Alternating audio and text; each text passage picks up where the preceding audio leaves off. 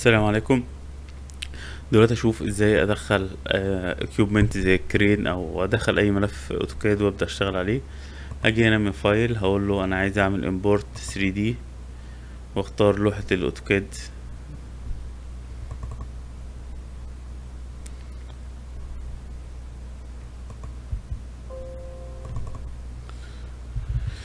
آه، هبدأ أقول مثلا عايز crane فجابها لي.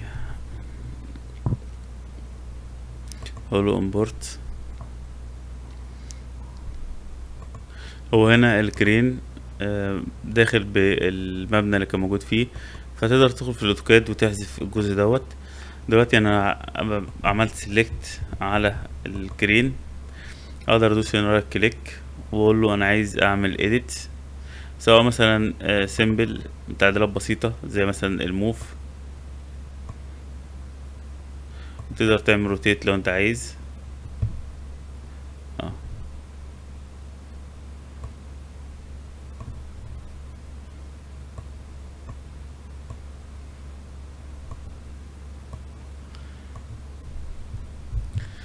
ممكن تدوس right click وتقول له أنا عايز أعمل advanced تعديلات أكتر.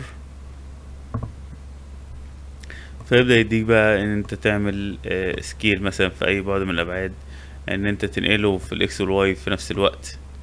وهكذا. ممكن تقول له أنا عايز أعدل في ال color